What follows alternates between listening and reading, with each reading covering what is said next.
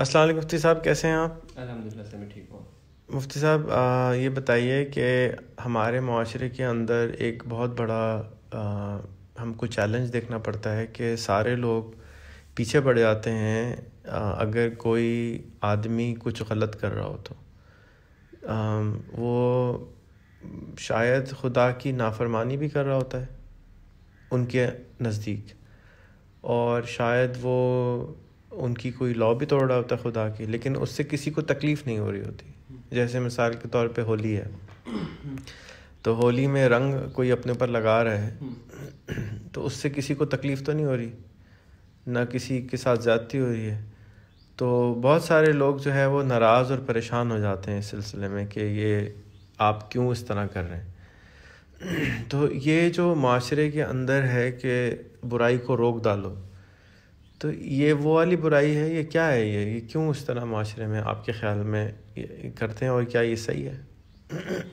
سر بھائی، آپ کا بہت اچھا سوال ہے کہ لوگ جو ہے وہ خود سے فیصلہ کیوں کرنے لگ جاتے ہیں؟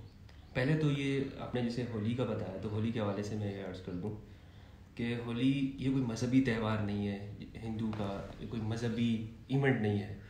یہ اس بر صغیر پاک و ہند کے رہنے والے جو لوگ ہیں، یہاں پر اس، یہ کلچر ہے اور اس کا مذہب سے کوئی تعلق نہیں ہے۔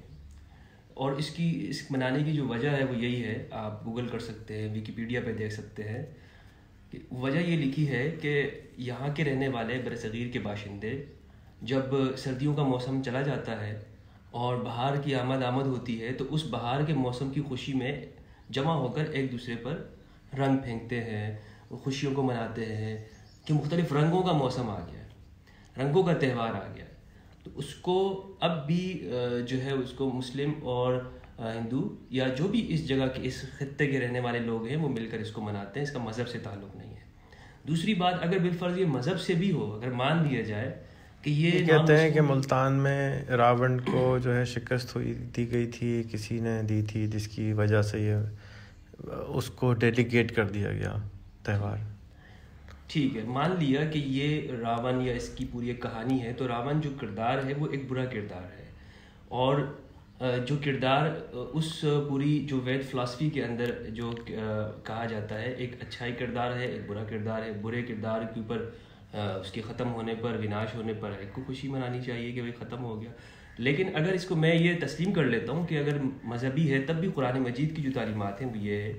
لا ينهاكم الله عن الذين لم يقاتلوكم في الدين ولم يخرجوكم من دياركم ان تبروهم وتقسطوا اليهم ان الله يحب المقسطين. یہ قرآن کا واضح حکم ہے. سورہ ممتحنہ کا آیت نمبر آٹھ ہے. اس کا ترجمہ یہ ہے، اللہ تعالیٰ تمہیں نہیں روکتا ان لوگوں کے ساتھ اچھائی کرنے میں اور بر کرنے میں کہ جنہوں نے تمہیں تمہارے گھروں سے نہیں نکالا. ولم یقاتلوکم فی الدین اور دین کے اندر دین کی وجہ سے تمہارے ساتھ قتال نہیں کر رہے ہو۔ تم ان کے ساتھ لڑ نہیں رہے ہو۔ دین کی وجہ سے۔ ان تبروہم و تقسط الیہم۔ تم ان کے ساتھ بر کرو، اچھائی کرو، قسط کرو، انصاف کرو۔ بے شک اللہ احسان کرنے والوں کو، انصاف کرنے والوں کو پسند کرتا ہے۔ یہ آیت ہمیں یہ بتاتی ہے کہ کسی بھی قوم کا کلچر ہو، تہوار ہو، ہم ان کے ساتھ اس کو منا سکتے ہیں، سیلیبریٹ کر سکتے ہیں، ان کی خوشیوں میں جا سکتے ہیں۔ تو یہ ہولی اگر کوئی شخص مسلمان اگر کرنا چاہتا ہے اپنے دیگر برادر کے ساتھ، بھائیوں کے ساتھ، تو اس کو کرنے میں کوئی حرج نہیں ہے۔ قرآن نے اس کی مکمل اجازت دی ہے۔ اور رہ گئی یہ بات کہ ہم اپنی طرف سے فیصلہ کیوں کر لیتے ہیں؟ کسی کے اوپر جو ہے اس کو روکنا کیوں چاہتے ہیں؟ کہ یہ رک جائے اس سے۔ اب خود قانون کو اپنے ہاتھوں میں لینے کی جو ہمارے اندر ایک ایک، وہ آ گئی، عادت سی ہو گئی ہے۔ تو یہ اس لیے کہ ہم نے قرآن کے اوپر عمل نہیں کرتے۔ تو قرآن کہتا ہے کہ پہلے تم جو ہے وہ اپنے اپنے اندر جو ہے وہ اچھائی والی صفت پیدا کرو تقوا پیدا کرو، شکر پیدا کرو۔ اللہ کی معرفت ہونی چاہیے۔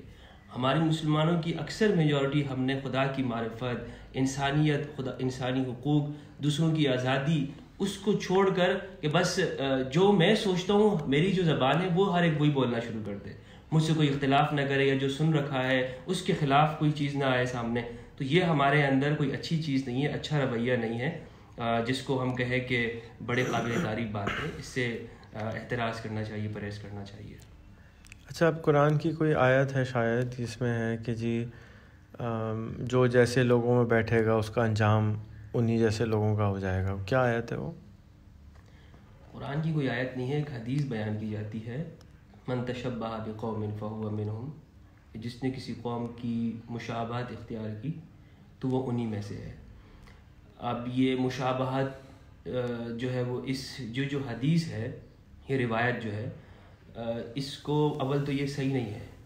یہ روایت جو ہے وہ اصول حدیث کے جو اصول ہیں، ان کے اوپر پورا نہیں اترتی۔ دوسرا یہ کہ اگر مشابہت کو ہم مطلقاً مان لیں کہ کسی بھی طرح کی مشابہت ہو، اس حدیث میں مجمل ہے یہ حدیث، مبہم ہے۔ کہ جس نے بھی مشابہت کی کسی قوم کی ان میں سے، اب شکل و صورت میں مشابہت ہو سکتی ہے، کپڑے میں مشابہت ہو سکتی ہے، اوڑھنے، بچھونے میں مشابہت ہو سکتی ہے، گھر بنانے میں، تو کیا ہے؟ آج کل ہم تو ہر چیز کے اندر یورپ کی مشابہت کر رہے ہیں۔ ٹھیک ہے انگلش زبان بولنے میں ہم بڑے فخر اور درد محسوس کرتے ہیں کہ جی ان کی مشابت ہونی چاہیے، اسٹائل میں ان کے کرنے کی کوشش کرتے ہیں، اس پہ تو کوئی روکتا نہیں ہوتا۔ تو یہ صرف اور صرف جو یہاں پر اس کو اس جو بیان کیا جاتا ہے کہ ان کی طرح، ان کسی قوم کی طرح تم بن گیا ان جیسے ہو جاؤ گے۔ تو یہ یہ کوئی واضح لفظ نہیں ہے۔ اور اللہ کے رسول صلی اللہ علیہ وسلم فصیح تھے، آپ واضح لفظوں میں گفتگو کرتے تھے۔ آپ اس طرح کی مجمل اور مبہم قسم کی گفتگو آپ نہیں کرتے تھے۔ آپ کی ایک ایک لفظ اور بات دوسروں کو سمجھ میں آتی تھی اور اس کا مفہوم بھی سمجھ میں آتا تھا۔ اس حدیث کا کوئی مفہوم سمجھ میں نہیں آتا ہے۔ کس قسم کی مشابات کرنے سے جو ہے وہ اس جیسا ہو جائے گا؟ تو اگر چلے مان لیتے ہیں کہ یہ کلیئر حدیث ہے اور سمجھ بھی آتی ہے کہ آپ اٹھا لی آپ ان کے ساتھ اٹھائے جائیں گے، جیسوں کے ساتھ بیٹھیں گے۔ تو دوسرے آدمی کو کیا پرابلم ہے؟ وہ زبردستی کیوں چاہتا ہے کہ وہ آپ کے ساتھ ہی اٹھے؟ اور پلس وہ جو آدمی ہے، جو کرٹیسزم کرتا ہے، وہ آپ سے کٹ بھی جاتا ہے۔ یعنی بجائے اس کے کہ وہ آپ سے سوال کرے یا آپ کو گائیڈ کرے، وہ تانا مارتا ہے اور تانا مار کے آپ سے کٹ جاتا ہے۔ تو کیا اس کو کٹ جانا چاہیے؟ یا کانورسیشن یا ڈائلاگ کرنا چاہیے یا ٹھنڈے دماغ کے ساتھ پوچھنا چاہیے کہ بھائی تم ایسا کیوں سوچتے ہو؟ بالکل پوچھنا چاہیے، کٹنا یہ کوئی حل نہیں ہے۔ سوال کرے گوگل کریں اور اپنی نالج کو، علم کو بڑھائیں۔ کہ آیا ہو سکتا ہے کہ جو میں سمجھ رہا ہوں، جو میں نے پڑھا ہے، اس کے اندر کمی ہو۔ مجھے اپنے معلومات کو مزید اضافہ کرنا چاہیے۔ یہ تو نہیں نا کہ جناب ہاں میں عقل کل ہوں، مجھے ہی سب کچھ آتا ہے پوری دنیا کا علم جو ہے وہ میری عقل کے اندر سما گیا ہے۔ ہم یہ تب کرتے ہیں کہ جب ہمارے ہم تہی دامن ہوتے ہیں دلائل سے۔ جو ہمارے پاس دلائل نہیں ہوتے یا نالج نہیں ہوتی، علم نہیں ہوتا، علم نہیں ہوتا، تو ہم یہی کرنا شروع کر دیتے ہیں کہ کسی بھی طرح سے دوسروں کو خاموش کر دے دوسرے دوسرا چپ ہو جائے۔ اور ہماری بات کو سنے قرآن میں ہے سب سے بری آواز جو ہے وہ ان انکر اسواتی لسعود الحمیر کے جو سننے میں ہے وہ گدے کی آواز ہے۔ کیوں کہا گیا؟ اس لیے کہا گیا کہ وہ جو ہے وہ سمجھتا ہے کہ میں آواز اونچا کرنے سے سب کو خاموش کر دوں گا۔ سب میری ہی سننے لگ جائیں گے۔ تو ایسا نہیں ہونا چاہیے۔ ہم اگر کسی سے اختلاف کرتے ہیں، کسی سے ہمیں رویے کے اندر، اس کی گفتگو کے اندر اختلاف ہے، اس کو پورا موقع دیں کہ وہ اپنی بات کو بیان کرے۔ پھر ہم اپنا اپنے اپنی رائے کو بیان کریں۔ لوگوں کے اوپر چھوڑ دیں کہ لوگ جو ہے وہ کیا فیصلہ کرتے ہیں۔ فیصلہ کرنے والے ہم نہیں ہیں۔ دوسری بات جو ہے وہ فیصلہ کرنا کسی کے بھی وہ قرآن مجید کے اندر ہے حاض یوم فوصادقین صدقہم قیامت کے دن فیصلہ ہوگا سچوں کا۔ کون سچا ہے، کون جھوٹا ہے؟ اس دنیا کے اندر کون جھوٹ بول رہا تھا، کون سچ کر رہا تھا، یہ میرے اور آپ کا کام نہیں ہے، کسی کا نہیں ہے، بلکہ پروردگار اس کا فیصلہ کرے گا۔ اور سچ کا فیصلہ ہوگا قیامت کے دن میں ہی ہوگا۔ اچھا جی تو جو لوگ ہماری بات سن رہے ہیں، ان کو اگر مفتی صاحب سے مزید ڈسکس کرنا ہو، تو آپ مفتی صاحب کو ان باکس کر کے ان کے ساتھ زوم پہ لائیو آ کے آپ اپنا سوال و جواب کر سکتے ہیں۔ مجھے بہت خوشی ہوگی کہ آپ اگر یہ سوال و جواب کریں، مفتی صاحب ہمارے ساتھ ہی ہوتے ہیں اور وہ اسی کام میں ہماری پیش پیش ہوتے ہیں کہ ہمارے درمیان میں امن پھیلے، امن کب پھیلتا ہے؟ جب ہمارے دل میں سکون ہوتا ہے، دل میں سکون کب ہوتا ہے؟ جب دماغ میں سکون ہوتا ہے، دماغ میں سکون کب ہوتا ہے؟ جب ہمارے سوالوں کے جواب ہمیں مل جاتے ہیں۔ تو آپ میں سے کوئی بھی اگر یہ کرنا چاہے تو مفتی صاحب کو سے ٹائم لے لیں اور اس کے بعد ان کے ساتھ ایک عدد زوم پہ آ کے میٹنگ کر لیں۔ اگلے تیس دن تک ویسے بھی ذرا مطلع صاف ہے گھروں میں لوگ بیٹھے ہوئے ہیں۔ تو اس سے آسانی ہو جائے گی آپ کو یہ کام کرنے میں۔ مفتی صاحب بہت بہت شکریہ۔